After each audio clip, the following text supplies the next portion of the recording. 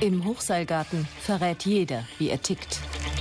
Bin ich ein Weichei oder ein Tough Cookie? Da bin ich jetzt selber mal gespannt. Da oben kann sich keiner verstellen, sagt der Burnout-Spezialist. Schön und nicht so mit den Armen so verkrampft.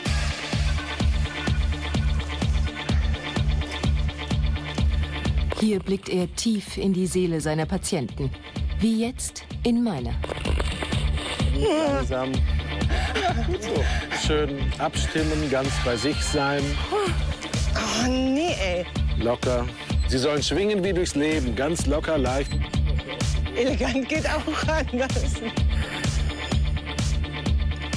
Wie gehe ich durchs Leben? Warum lässt mich die Arbeit nicht mehr los? Wie bin ich? Ich lasse noch tiefer blicken, hier oben. Ich spring da. Frau Roth, Frau Roth, Sie stellen sich jetzt ein schönes Ziel vor, behalten das ganz für sich und machen dann den Sprung ins Leben, okay? Das kann ich nicht. Doch. Loslassen. Immer mehr Menschen gelingt das immer weniger.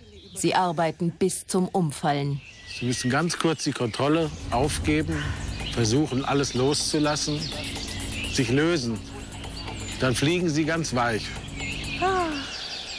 Das kann ich nicht.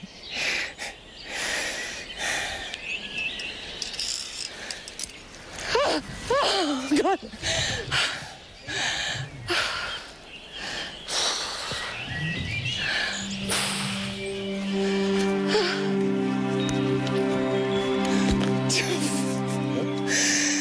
Oh, ist krass. Fünf Meter nur.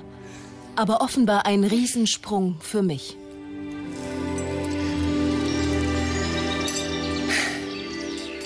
Ich habe das für einen reinen Spaß gehalten. Und ich weiß nicht, warum das so krass ist. Aber es wühlt einen total auf.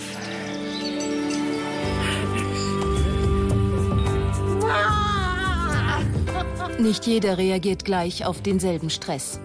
Andere genießen, was mir Tränen in die Augen treibt. Ich bin offenbar eher am Limit. Was habe ich oben im Hochseilgarten über mich verraten? Bin ich Burnout gefährdet oder nicht? Ja, Sie sind, Sie können, Sie, muss man sagen, also Burnout gefährdet ist zu weit gegriffen, aber Sie sind jemand, der auf sich achten muss. Weil Sie sehr ehrgeizig sind, weil Sie sehr äh, Anspruch an sich haben. Und Burnout-Gefährdete sind Menschen, die einen Anspruch an sich und die Welt und die Arbeit haben, die sehr perfektionistisch sind und nicht die Bedingungen dazu haben. Das heißt, man könnte sagen, gute Menschen mit schlechten Bedingungen. Warum landen immer mehr Menschen in Burnout-Kliniken wie der Wollmarshöhe am Bodensee? Mehr als doppelt so viele wie vor 20 Jahren. Psychische Störungen, dazu zählt auch Burnout, sind heute die Hauptursache für stationäre Behandlungen. Was ist los mit uns?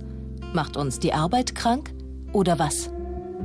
Nach einer ersten Antwort suche ich hier in Dachau an einem Ort, an dem ich ganz sicher keine Weicheier vermute. Leute, ich bin ja jetzt in Urlaub.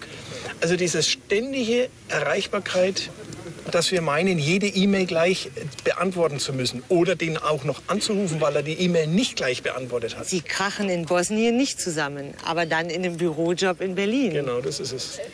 Du willst deine Arbeit gut machen, willst dir natürlich auch nicht eingestehen, das packst du nicht. Man sagt, da beißt man sich jetzt mal durch, ne, mit preußischer Disziplin. Und dann ist man in dem Hamsterrad drin und wird immer schneller, immer schneller. Sie selber haben es nicht Können gemerkt. es nicht, können es nicht. Sie selber können es nicht kontrollieren. Am pausenlosen Tempo unserer Zeit scheitern immer mehr von uns. Wer hilft mir, wenn ich ausgebrannt bin? Eine unerwartet schwierige Frage. Burnout ist offenbar kein Beinbruch. Wenn die Seele krank ist, kann man es in Deutschland mit einem Gesundheitssystem zu tun kriegen, das einen womöglich noch kränker macht. Erste Hilfe suchen wir beim Hausarzt. Doch bei Burnout kann der nicht viel tun.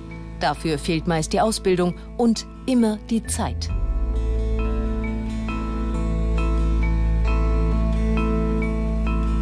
Wenn ich wirklich heilen wollte, würde ich gerne die Gesellschaft etwas verändern. Dann glaube ich wirklich, dass ich die Leute heilen könnte. wenn das nicht zu vermessen ist. Was ich aber machen kann, ist, dass ich die Leute anleiten kann, sich wieder auf sich selber zu besinnen, dass sie vorsichtig sein müssen mit den Maßstäben, die sie an sich legen und die Gesellschaft an sie anlegt. Dass sie trotzdem Leistungsträger sind, fleißig